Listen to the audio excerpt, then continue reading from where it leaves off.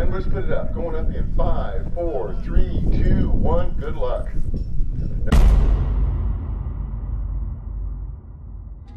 To get the sheen off. Yeah, This is better than sanding it. Yeah.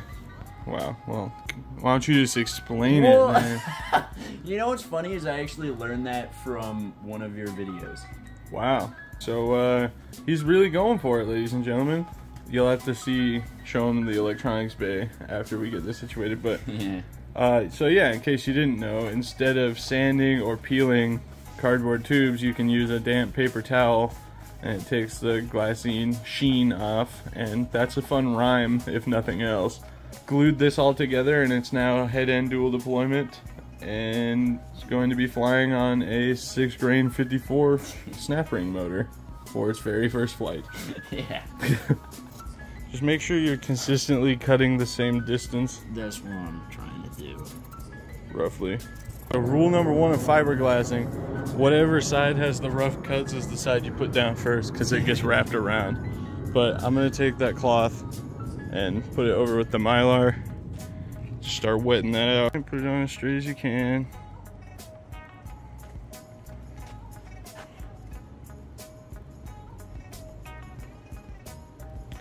And then just very carefully seal the edges.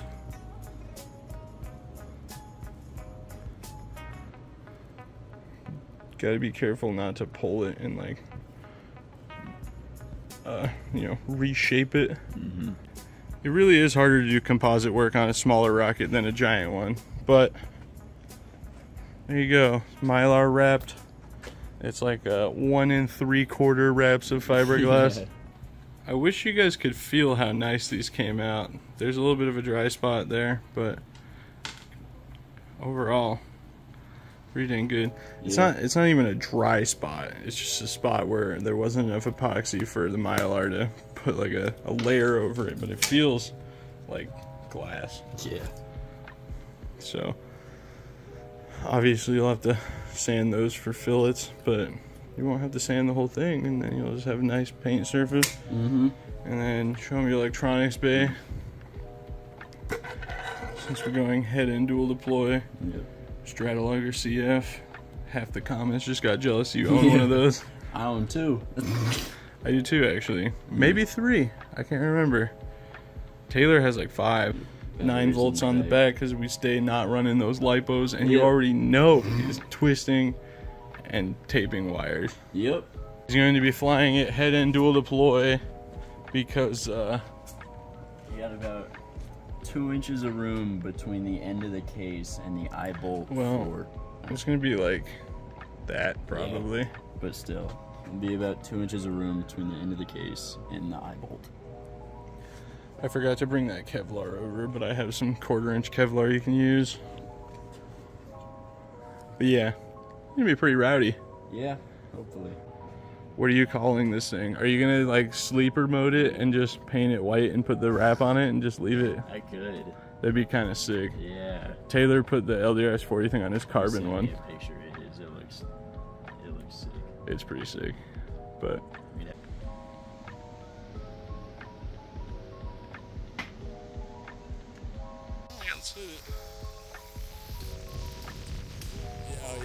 backing up, keep backing up.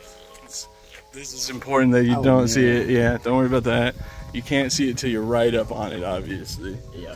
You like the socks, dude? These ones.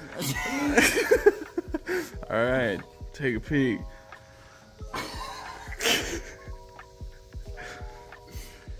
oh. That's He was wild. like, he was like talking about Ah, so how funny it would be to bring it into the hotel room. And I was like, I don't think we could bring it into the hotel Yeah. room. I was like, I don't think you're thinking of the correct scale here. Oh my god.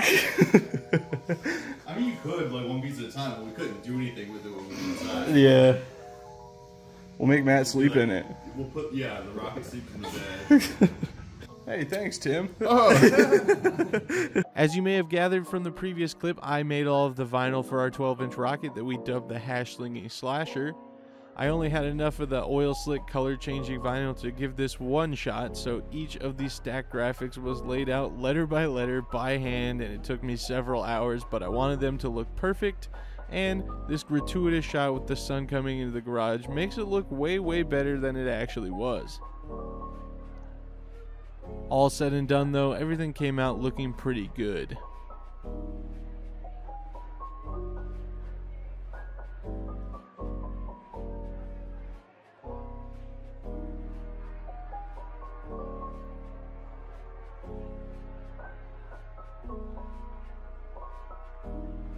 As far as finishing touches on the rocket, putting the vinyl on was all we had to do to get it ready for flight.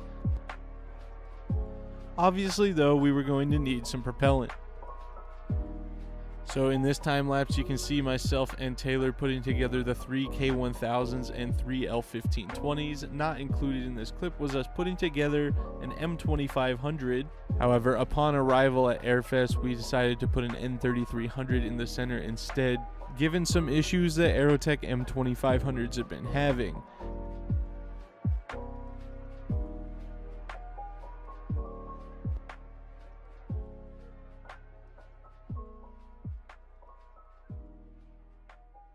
After letting the glue dry overnight, Taylor slid all the motors into the cases while I was working. The final step was for us to carefully pack the 28 foot man rated parachute into a custom made deployment bag from Gene over at Fruity Chutes.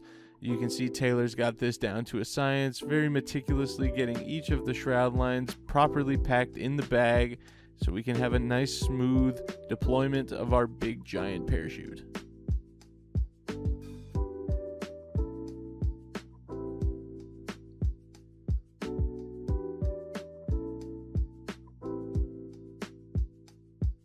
All that's left to do now is put the thing in the van and make our way from Kansas City to legendary Rocket Pasture in Argonia, Kansas.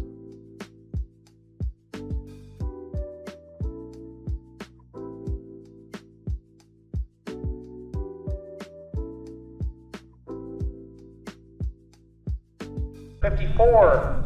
We have Shane Harris from Boise, Idaho, flying a Fusion rocket on a John Clifton K300. Da, da, da.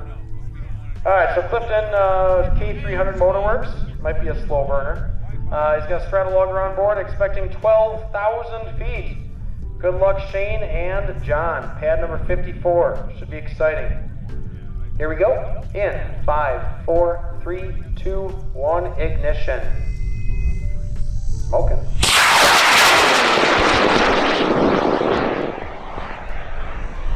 Nice job.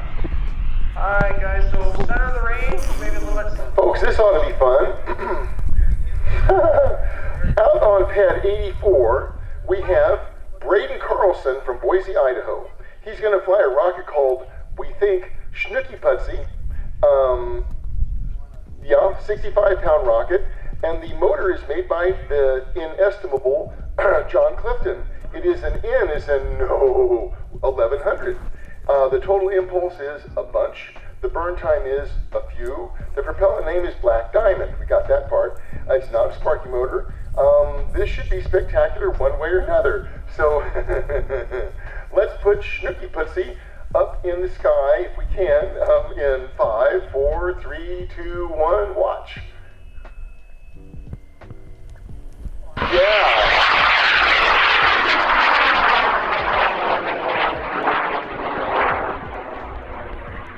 That's gorgeous. Schnooky Putsy. Nice job, guys. Well done. Remember, it's easier to drill new, drill new shear pin holes every time. We didn't heat it like Matt said. We were reducing weight. It's just gonna go even more Mach. Even more mock. Even yeah, more mock. that's correct. About that time, gentlemen.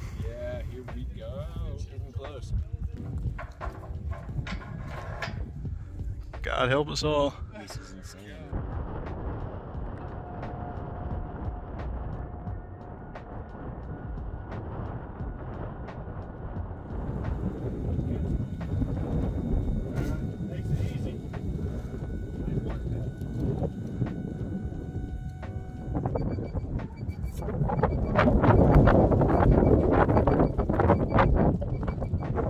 It's a little breezy, flight card's in my hand and it's going up right now. and Braden Carlson from Kansas City, more or less. And uh, they've got a big rocket. It weighs a scratch gold 190 pound rocket with you're sitting down with a central N is in nope 3300, three L1520s, and three K1000s. Can you say gulp? All blue, should be spectacular. The name of the rocket is the um, the Hash Slinging Slasher. It is a four-time upscale of a Wildman Punisher. Uh, it's got everything you can imagine on board: video tracker, da da da. Um, it's hammered at a point of at 2,500 feet. That's the highest I've ever heard of a uh, main coming out. Um, I've been told to say thank you specifically to John Clifton for the igniters and to uh, Jim Cooper for being uh, an expert or something. Uh, assistant, that's it. And then all the Kloudbusters, so thank you guys for having us fun. Launch support for your giant ass projects. We have to wait while Mr. Camber gets his camera ready. Okay, so um, the skies are relatively clear. Um, we're looking at, I think, 17,000 feet, 13,000 feet, something like that. We'll see. It's a big rocket, but look, this should be spectacular. Let's put it up. Going up in five, four, three, two, one. Good luck. There we go. Look at that.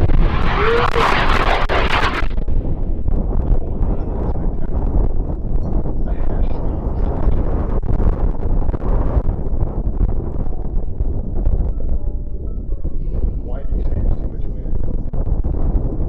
Look at that, man. I think that was a three pound ejection charge. That's spectacular. Outstanding. Nicely done, guys. Nicely done. They're going to do this again tomorrow, is that right? Woo! Let me. Oh, I did light it. Is it only the L's? Two Ks and two Ls. But oh, from across from each other. Yeah. So we have a K1000, L1520, and an N3300. 5,000 plus 7,000. It went 2,400 feet. So that like a baby. Yeah. Pretty late, but we proved the rocket itself works. Yeah. You had to pack a big chute. Yeah. It came out really nicely. Yeah, it was beautiful. We got to see it nice and close too.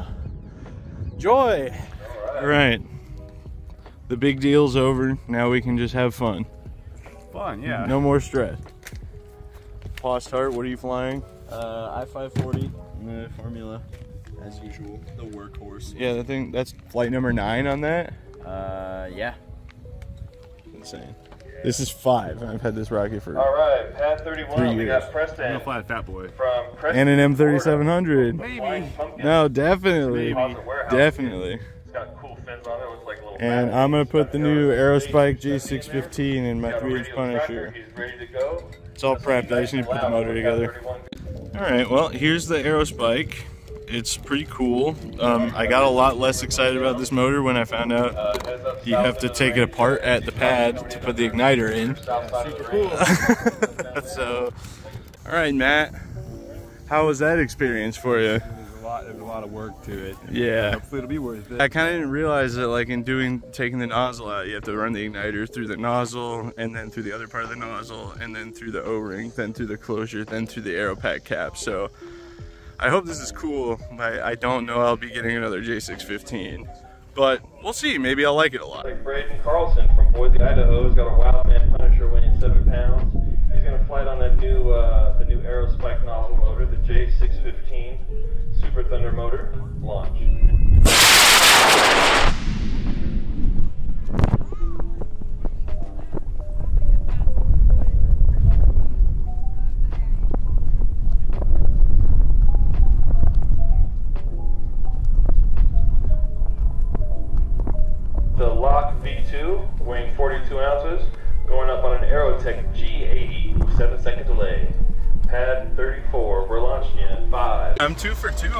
nice, easy recoveries this year. We probably didn't even really need to drive. I'm just gonna park in the spectator area. Uh huh. There's the launch pads, and there's my rocket. Stuck the landing.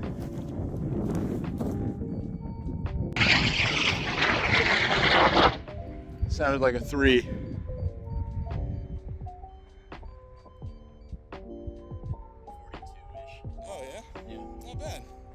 The punisher went a little higher than I thought it might. 4,200 feet on the J615. And you got your I-357? Huh? I-357? Yeah, I do 57 the Fat Boy. That's, Blown in a few years. that's not an M3700. No. All right, guys. Had a slinging slasher down just a tiny little bit. He's got an Estes Fat Boy on pad 31. Gonna find an I-357. One, one. this will be fun. I'm gonna stand behind somebody. Um, folks, watch fast because this is gonna go real quick. Going up in five, four, three, two, one, jump.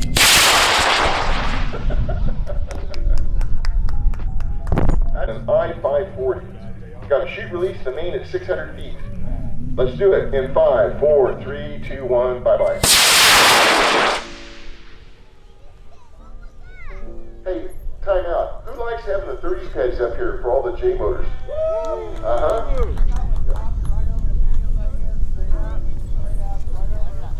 There's a lot of weird flows here. Look out, folks. See the see the rocket coming down.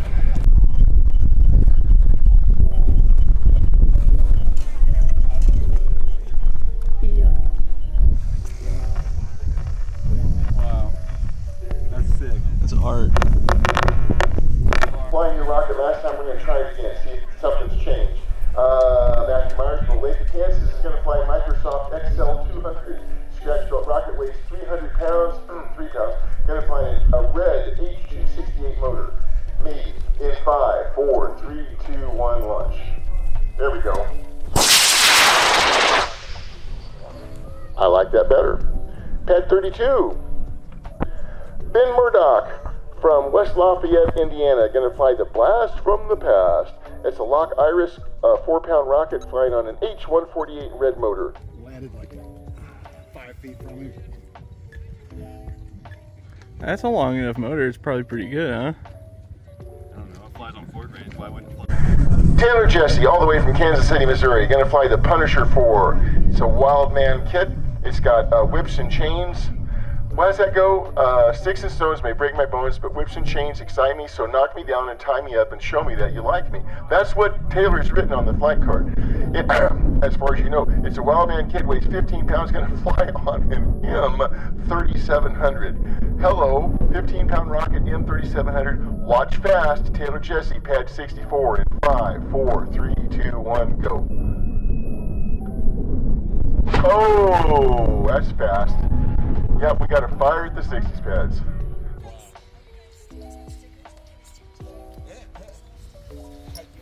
And Matthew Myers from Olathe, Kansas, flying a Monster Mini Mag. He's on pad 57, flying a Monster Mini Mag. It's a lock kit, weighs four pounds, and it's flying on an I-345.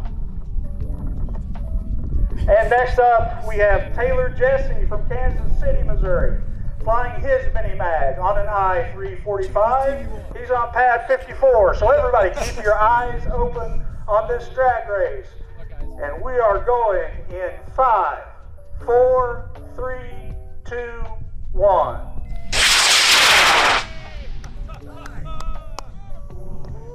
Beautiful drag race, guys.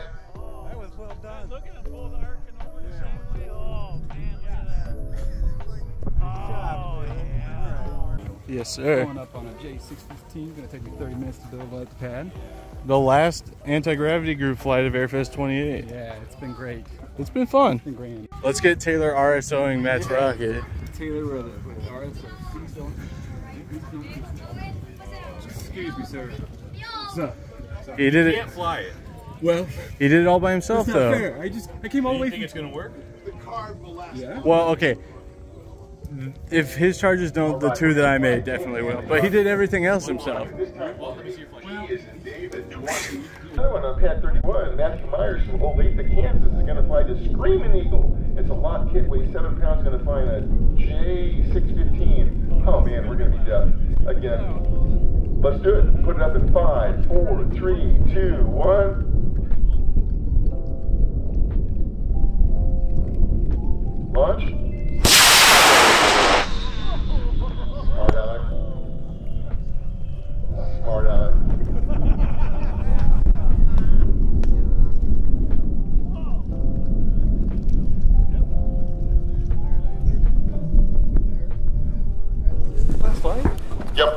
Yay! Thanks for helping us fly. This has been a great day. Thanks especially to all the volunteers for making this possible.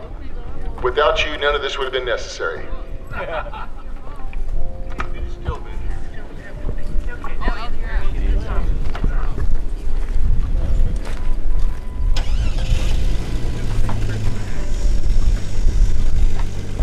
Well, he done did it.